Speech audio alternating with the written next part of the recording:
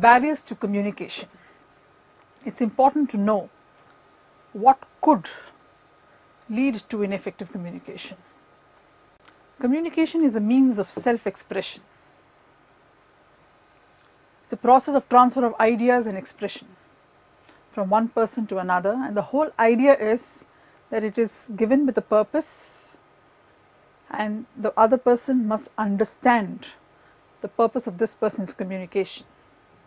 But there could be umpteen reasons which we will see which can lead to the other person not really understanding the purpose of this communication. And some of these reasons are semantic barriers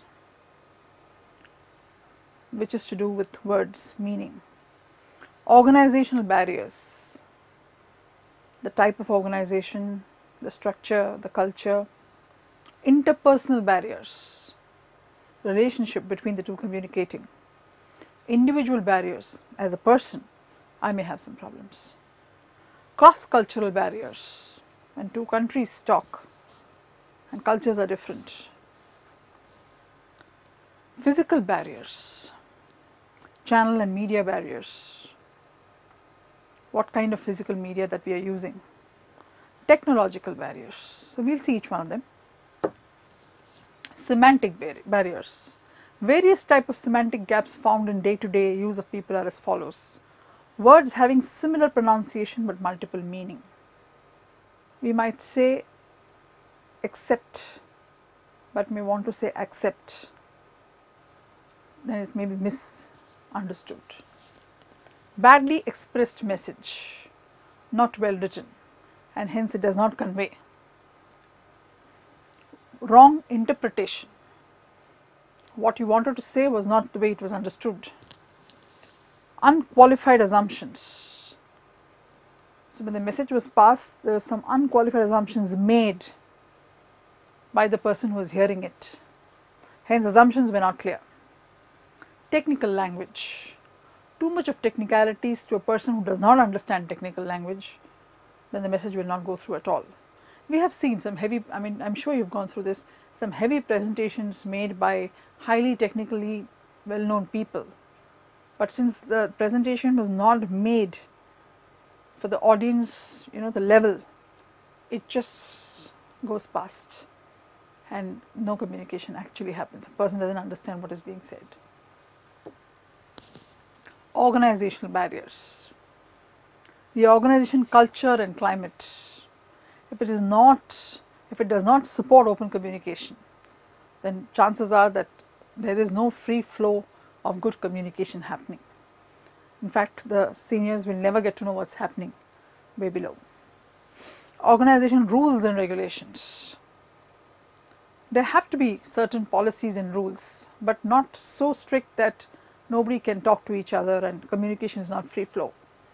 Status relationships where the senior most person cannot be accessed, nobody can approach such people.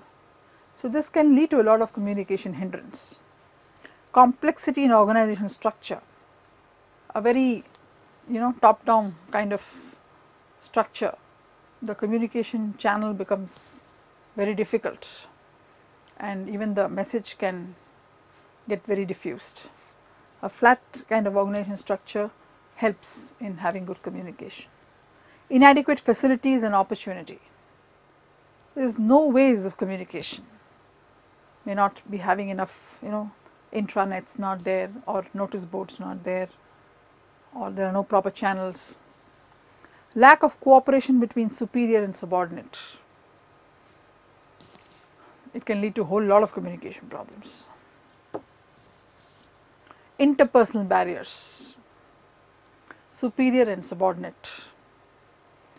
The equation is not good, if the understanding is not proper, very often whatever the superior says is not taken well by the subordinate at all. He may disobey, he may not take it in the right spirit, he may not even want to understand what he is trying to say. So, there are two types of superior subordinate barriers which emanate from superiors and subordinates. Barriers emanating from superiors and barriers emanating from subordinates. We will see both. The barriers emanating from superiors shortage of time for employees, not willing to listen, lack of trust, I don't trust my juniors, lack of consideration for employees' needs, I just make people want to stay back without realizing that they need to go back, wish to capture authority, hence I am not willing to listen to you, you just listen to me, fear of losing power of control, bypassing, if there is a you know hierarchy there bypassing the person and going to the juniors. Information overload. Some, sometimes it's too much of information the other person is not able to handle. Barriers emanating for subordinates. Lack of proper channel. How do I get to my superior? No interest to communicate. Very demotivated. Lack of cooperation. All this is part of demotivation lack of trust. If I say something, anything can happen to me. Poor relationship between superior and subordinate, that must be the cause. Fear of penalty, that I may be punished if I say something. Individual or psychosociological barriers in which we have style, linguistic accent, even within India, different places may have different linguistic accent. Some roll their R's more, some have, you know, they may not differentiate between A and O. Various. The form of expression, idiom, how they use it, the level of drama, types of humor, the choice of brevity, some may have very lengthy, lengthy styles of talking or writing and some may be using, you know, brevity. Brevity acts as a plus, but it should be able to convey what it has to convey.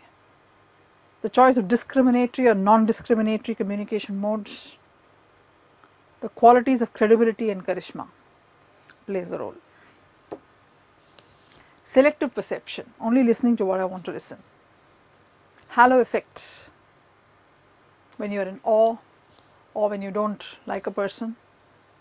Status relationship, boss and subordinate again or very senior person. Poor attention and retention, not a good listener. Inattention, undue importance of written words. Sometimes you read too much into something. Defensiveness, when we are not sure, we tend to be very defensive closed mind. Now, these are all reactions to some other problems with the relationship. State of health, has a headache or not okay, fever or even a ear problem. Filtering, again only listening to what you want to listen. Cross, cross cultural or geographical barriers Culture is so much a part of an individual's manner of talking, behaving, thinking. Each country has a different culture. So it plays a very big role. If you have to speak in China, it has to be Mandarin. Japan is to be Japanese. And hence, when we want to talk fluently, it becomes an issue. We need an interpreter and hence communication happens through a channel. So that leads to a lot of, shall we say, you know, diffusion of what we want to convey. Secondly, it could also be the relationship that we have with this country, Pakistan, India. I may not want to listen, or I may listen. I may be listening too much. Physical barriers, noise. I can't hear because of the noise. The environment, the temperature, lighting. If it's too cold, we are so worried about the chill that we don't want to listen. Defects in the medium. Mic not proper, the TV not showing up properly, computer not working the way it should. Could be various reasons. Technical aspects in communication barriers. Communication usually fails.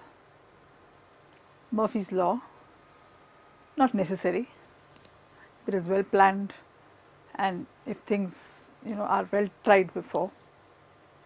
If the message can be understood, it will be understood. So it has to be written that way. Filtering happens, meta communication, reading too much from a communication, noise in the communication process, maybe because of line problem, signal problem, it could be umpteen other things. How do we overcome the barriers in communication? If communication is so important in business, it's extremely important that these barriers are also well taken care of. And it's not a small process. One, fostering good relationships. Having a good relationship with all in the organization, superior, subordinate, co-workers, peers.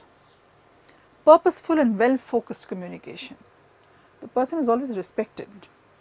If the communication delivers what it's supposed to deliver, it's well focused instead of wasting anybody's time. Coordination between superior and subordinates. Avoid technical language. Language not, be, not required for showing off. Language required to communicate, to make the person understand. Feedback. Take feedback, saying, have they understood? so that you can, if required, roll back. Accuracy. What we say is correct. Clarity in message. The message is clear, purposeful, well delivered. Communication of organizational philosophy, where it may be to respect each other, understand before we are understood, flat organization structure, easy to communicate, division of labor so that each one knows what has to be done, organization policies which will help in making proper communications, minimize semantic problem which we already spoke about, proper communication channels and the right feedback from time to time.